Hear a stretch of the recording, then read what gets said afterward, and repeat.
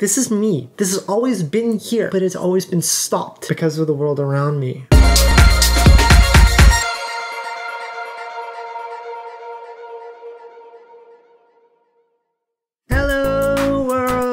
Happy Sunday or Monday or Tuesday or any other day of the week that you're checking this out on. Welcome to Dwhell on It. I'm Taylor. If you're new here, if you'd like a recap, remember that Dwhell on It is a series where I answer your questions about my lived experience or the lived experience of trans individuals, questions about the trans community, you know, education, insight, and honestly, sometimes super random stuff. What's your favorite brand of headphones? You know, do you use PC, Mac, whatever, throw them at you. Because remember, when it's all said and done, trans individuals are just as human as everyone around you too, right? And so knowing that, that if you want to ask me what my favorite sports teams are, if there's ever been a certain player that's been an inspiration, do I have hobbies? Go for it, because remember that my lived experience isn't necessarily always about HRT or where do I get my nails done. It's about what life is like as a human being surviving some pretty serious oppression every now and again. So I've got my grab bag that's got questions already loaded up in there. This one's for real, for real this time. I'm not gonna go off of questions that I think are gonna be really quick and and intercept. Please add to the pile and let's get your questions included. I'd love to hear what your thoughts are. Before we get too far into things, because I was showing the grab bag, I'd like to use that as a reminder that I've got two fundraisers going on. One is for Shoppers Love You Run for Women. That is a fundraiser for women's mental health awareness and women's wellness programs. In Winnipeg, the support goes to Mood Disorders Association of Manitoba. I'm trying to reach $1,411 for that fundraiser, so if you'd like to go ahead and contribute to that, receive a tax receipt. In the description is a link. Please click link. Please add money. Get tax receipt. Help support.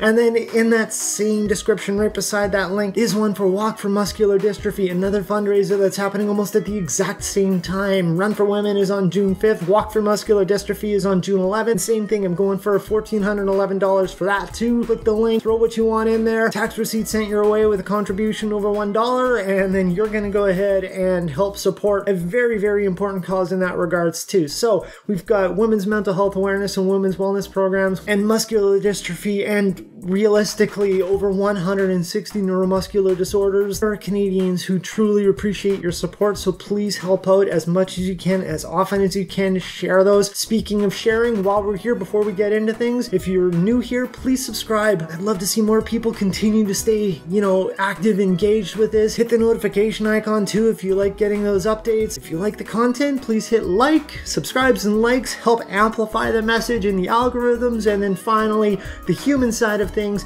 is hit share because I can only speak to who I'm able to reach. And so by sharing, you're helping broaden that scope. This message is really important all the time for more people to see. And if you help get other people to notice that, it's only going to help that much more. So like, share, subscribe, grab bag time. Let's see what we got. How do you feel about where you are during your transition right now?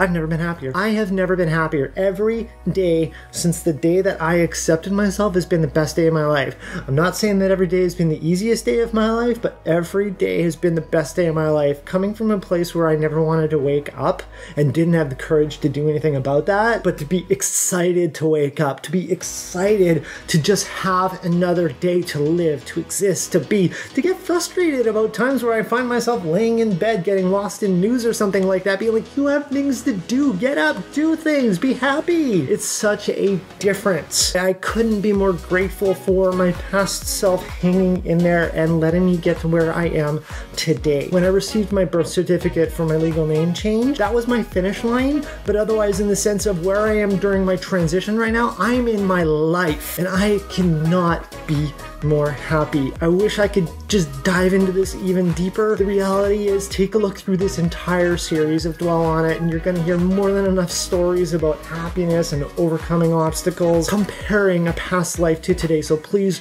jump in there, check any previous episode out. I try to list them in the in the description with chapters and bookmarks for your own curiosity. But how do I feel? God damned great. I couldn't explain that with any more passion. Has transitioning taught you anything about life? See above. Again, something that I have alluded to previously. I feel like I'm going to say that regularly with more episodes as they go on, so I should probably stop saying that I spoke about this before, but I really encourage people to take a look at previous chapters. And in fairness, I'm also working on some uh, some content to hopefully revitalize some of those older episodes without deleting and re-uploading because I know that they're older content, but nonetheless, if you can watch some of the older episodes and hang in there with with production quality, seriously, you're gonna you're gonna see a lot of storytelling storytelling in that sense. If I compared myself to a past life, I'd like to say that, but I'd like to say, I'll say that I could confidently compare the life that I had to a very cishet conservative male because that was the life that I was trying to present. And it was very restricted and reserved. And if for no other reason, because I felt like there was no harm being done to me, except for a lot of the violence that was happening to me indirectly and silently because of the world around me. So let's just take that with a grain of salt. Comparing where life was then and now, and and honest to goodness, for any anyone watching this right now who has known me in a past life could likely attest to this. I never really represented happiness. Sure, I had a smile. Sure, I can light up a room with a laugh. Sure, I can, you know, help support people and so on. I don't think that I've ever glowed with happiness as much as I do today. I've known about the the oppressive systems around us, so that's not really an education side of things. And honestly, even when it comes to how peers have proven themselves to be exactly but that, especially when they're most needed. Those aren't new to me at all because I know that as a trans individual, and not only a trans individual, but also an advocate, that's a very small percentage of people on the planet who have that same type of energy. And it's not easy to keep up with. So I get that. You really discover how strong you are when you start transitioning. When you start facing the fear of the world around you and you realize how much the world puts on you and you still march forward, all of those questions you've ever had during your entire life, wondering if you can make it, if you can do it, if you're going to be okay, or you're going to be fine. And then you realize you're not only just fine, you're thriving. There are difficult days. There's no question about that. I'm not saying that every trans person is living the high life. I'm not saying I'm living the high life, that's for sure. But to be able to succeed every day in the direct opposition of the fears that you had about your days before you started transitioning, to learn and discover the people who support you, who are around you, who love you and hold the word love for what it is. The people who believe in you and the people who've never believed in you, the people who you thought you could trust and the people who you knew you couldn't. For those to all just have a visibility now when you are able to be authentic and real with yourself and see how much more real the world is around you is is just a, an absolutely amazing nugget of information that you can't read or find or experience everywhere unless you do it. What transitioning has taught me about life is life is meaningful. Transitioning has taught me that my life is worth it. My life is worth the fight. And not only is my life worth the fight, the kids and the trans individuals who aren't able to get to, I, I don't want to put myself on a pedestal, but who aren't able to just approach the day with this much passion and joy and happiness and excitement because of an oppressive world around them. I've learned my life is worth fighting for. Their lives are worth fighting for. The generations that are behind them that no one ever thinks about far enough. That's what transitioning has taught me about life. Transitioning has taught me how to live, and transitioning taught me how to love life when I used to hate it, when I used to just despise waking up because it was another day of mediocrity, another day of redundant failures, another day of spinning my tires, another day of hoping that somehow magically the world is going to make it easier and better for me, or someday I would wake up with essentially amnesia and forget my identity and meld into the world that's around me instead. Transitioning has taught me how to love myself. Transitioning has taught me how to love the community around me. And transitioning has taught me how to represent my values. And transitioning has taught me that I am one of the strongest people Maybe not in physical strength, maybe not in reach, but I know that I am one of the most unique and passionate and courageous Canadians there is. There is nothing in a school, in a book, in a magazine, in an online forum a chit chat with a friend, a doctor, a counselor, nothing will ever teach me about life as much as me taking the journey, as much as me trusting myself and me accepting myself. Nothing will teach me more about life than me allowing myself to learn to love it. I've never been happier and I'm and I'm energized. I'm passionate. I, I, I would never say that I wish I did this earlier because I wouldn't be who I am today without who I've already been. If I could at least go through life with the energy I have today and take back my youth, my teens, my 20s, my 30s, and take back the life that was taken away from me because of my own despair, my own, my, my, my, my hopelessness, my fear, I was able to take that back and just give the life that I knew I had. This this isn't an injection of happiness. This is me. This has always been here, but it's always been stopped because of the world around me. Until I decided to create the world around me instead of try to be part of the world around me. Has transitioning taught me anything about life? It's shown me everything that life is because I finally have one. I, I couldn't be more grateful to learn that to experience it, to have it, to own it, and to share that. How's your financial situation? Well, back to has transitioning taught me anything about life? Well, you you you, you still you stay broke. Yeah, you get more broke. it's not unpredictable. How's that for an answer? My net worth starts with a negative. I'm fine. I hardly have the, you know, the, the billions of dollars that I'd like to, you know, wish that I had, but I'm sure most people wouldn't be opposed to that. I, I have debt. Uh, I'd love to see that debt paid off, but slow and steady. I've got a budget that I'm happy with. I am still able to comfortably support people if they need need help. I have no problem donating here or GoFundMeing there and so on. Like, of course, I still have to be mindful of my own expenses and living situation and so on. I, I don't have loose money to throw around. I am able to just continue to keep pushing forward and I'm fine with that. You know, if a financial analyst looked at how my financial situation is, the answer is like, wow, that's not great. um, but I, you know, my door locks. I have a roof over my head. I've got food in the fridge. Even though I've got food in the fridge, in the freezer, in the pantry, and, and tons of whatever, I'm still able to order food comfortably and, and not feel like I'm deciding if this is between food or medication. So, uh, financial situation on paper by by technicality, poor.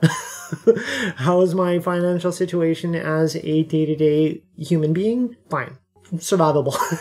uh, will it get better with a raise? For sure. Will it get better with less debt? Absolutely. The financial situation for trans individuals is rarely positive for multiple reasons. Maintaining employment as a trans individual is not a, a given. Holding a job as a trans individual is not a gimme. And if not holding a job, but also finding a job. It's it's very unfair and it's a straight reality that discrimination is very much a real thing, whether or not it's actually vocalize in the decision making process. And then add the fact that transitioning is the gender affirming care is also not universally recognized by health systems. Look what's happening in the States when it comes to states that are passing bills that are considering it child abuse to, to support children, whether it's early stages of transition or just recognizing their gender identity. This is nothing to do about surgery or anything like that, but it is literally to just get themselves acclimated to where they are in life and where they are to be. For myself, myself in Manitoba in Winnipeg, when I finally got the courage to go to clinic for trans health care, I understand that, of course, at my age, I do have a little less resistance in terms of informed consent and whatnot. When it was all said and done, after a couple sessions with the social worker and then another, you know, another session with a doctor to just talk it out about, okay, here's what transitioning entails in this department and be like, yeah, yeah, okay, gimme, gimme, gimme. And I signed some papers and that's it. My medications are covered by my benefits. I haven't explored anything like surgery surgeries. I have talked about surgeries before. I'm not interested in considering any of those anyway, right? Aside from an orchi, I've mentioned that before, but that's covered by Manitoba Health. Laser facial hair removal was covered by Manitoba Health. Speech language pathology, should I have chosen to stay in that instead of get really mad at the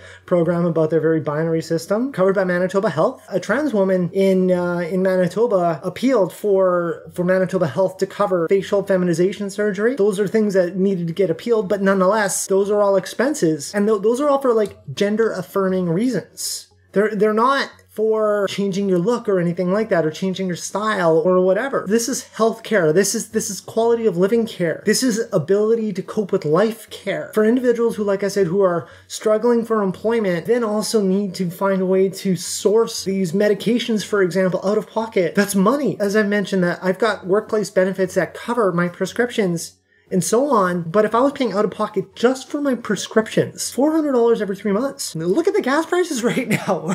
just put it that way. This is an expense for quality of living and that needs to get budgeted in. I could talk about things like wardrobe and glam and whatnot. Those are personal preferences and those are decisions that I can and will make if I ever had to. If I ever felt myself in an absolute bind, you better believe that I'm going to skip a nail session for sure. But I can't skip a prescription. My financial situation will eventually get better. I've got two And when both of those are done, presuming no surprise chaos between now and a few years from now, it'll be just so much better. No question about that. My financial situation could be better. Believe me, right? I'd love to trip over a sack of cash for like 50K. It still wouldn't cover everything, but cover most of it. I'd think nothing of it, right? You know, a lot of people want to, you know, win a billion dollars or whatever. I just, I want to get myself back to ground zero because then I can get back to a point where I can start recreating that part of my life because a lot of my life was spent trying to fit in. And if, if that meant I was always going to events or socializing or spending more than I had to here or there so I could feel like I was in the company of others. And then don't forget as well that I had two wardrobes for a period of time, so that was certainly an expense in itself. There's a lot of additional expenses that were happenstances of trying to cope with my own life. All I want to do is I just want to get back to ground zero. I'd love to just get my loans paid off, have my credit card paid off, and say ça. I'll still keep working. I'll still live the same life that I have. I'll still live in this box. but at least I now have that, that, that ability to reset, start over, and build that life that I know that I have a right to. Is there a movie or a book that you totally connect with, trans or not? Is this the part where I'm supposed to say The Matrix? um, but no, in, in, seriousness, I don't have much connection when it comes to movies or books. As in this, this is part of my life in in a certain sort of way. Except for The Fifth Element, it's with no question my favorite movie. I am an absolute sucker for love, anyway. Sometimes as oddly lame and campy as it is, it's still also just a fantastic story. Whether it's become a meme in itself or whatever, the movie itself just makes me happy right? Like it's that's a movie where if it turned on at any point, it would just make me smile and I'll stop what I'm doing and I'll start watching it because I love it so much. Does it resonate with me as a human being? Like are there elements, pardon the pun, of the movie that I'm like, oh that that yeah. No, definitely not. Uh, and and in fairness, I can't really think of any movies that do. Another movie that I didn't realize connected with me as much as it did until the more I think about it is The Sandlot. It really didn't represent my life at all, realistically, but the the passion for baseball. I have a feeling that if I was able to, you know, participate in sports, organized sports uh, more as a kid, and especially if I was able to, you know, get into baseball as a kid, I have a feeling that movie would have resonated with me that much more. That's just another movie where it's like, yeah, I can I can sit with this. This is this is fine. It still doesn't like define my life in any way. Or th- those are two types of movies that I don't question if they're worth my time to watch. I- would love to read more, but I think I just read enough by having my face shoved in monitors all the time. But when it comes to movies, I don't watch many movies, largely because I feel like I've got more things on the go. I was mentioning in the last episode that I would be watching movies when I'd be IPLing my legs or whatever, but that's because I'm parked and may as well watch something like that. But to stop what I'm doing and just turn on the TV to watch a movie or a show or whatever is usually not my gig. Like I said, if you know, if Fifth Element was on, if The Sandlot was on, those are two that bring me joy. I don't know why they connect with me so superficial. I love love. Well, that's not superficial, but I love love. There's lots of movies about love, right? Like The Notebook is one that I'm sure that many people can think of automatically. And I love baseball softball lots of movies about baseball and softball. All right, that was really fun. I like that last one. Really makes me want to watch a movie now. Uh, let's wrap up on this. I had a lot of fun here. Thank you so much for these questions. So if you like the content, please hit like, and if you haven't done it yet, please subscribe. Both of those, aside from just making sure that it lets me know how I'm doing, it also lets the YouTube and Instagram and whatever other social media platforms you see this on, lets the algorithms in there know that they are videos that are encouraged to be watched by other people too. So remember remember, you're not only helping me, but you're helping the system. That is so important when it comes to getting this visibility seen and heard by others. On that note, please share in whatever platform it is that you're watching this on. There is also a share button. Click that and add it to your social media links, or you can go ahead and copy the link and send it by text or email or whatever. But please do me a huge solid by liking, sharing, and subscribing.